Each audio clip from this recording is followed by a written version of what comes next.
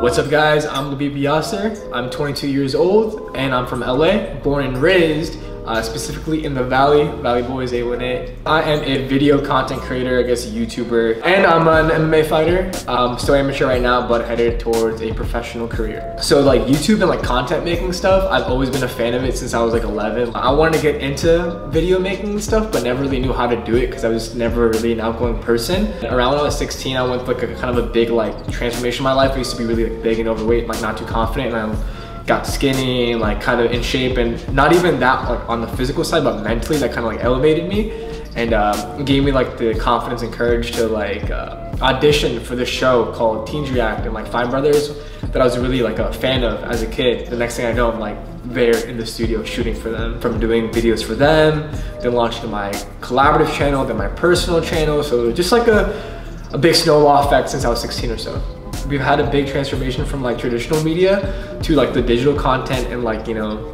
YouTube, Instagram and stuff like that. So it's really cool seeing how things are changing and trending, trying to stay relevant and do stuff that's trendy is sometimes like a really dangerous thing to do in my mind because you end up in the hands of the masses. I can probably do like a bunch of viral and trendy stuff right now, which would get me these numbers, but I'm not gonna get the long-term fans and supporters I want so since the beginning, I've always said, I'm gonna talk about my life and my training. And that was a niche a couple years ago no one really gave a shit about. Funny enough, like as I kept doing that, kept doing that, I stayed true to like what I wanted to do. Like next thing you know, two years, like YouTube boxing is a thing.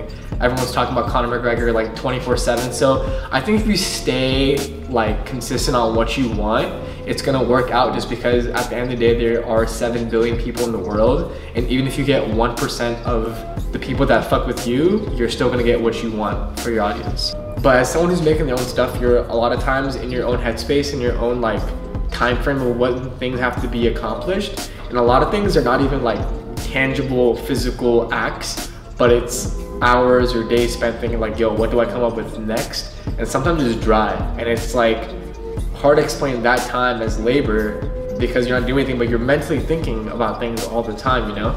So it's important to let yourself relax. I think like if you're if you're like, you know, not with it, you're not in the vibe of making things, you know, it's not reflective of you, you're not happy with what you're making, it's okay to take a break because the time scale that we're running on now is so intense compared to artists and movies that like, you know, came out every one or two years. It's very fast, so slow down a little bit. Do what you want and like don't try to do the image of what you want. They're two very different things. Whatever you have in your heart, do that.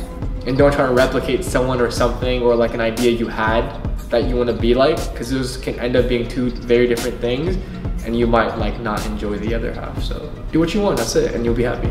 Simple.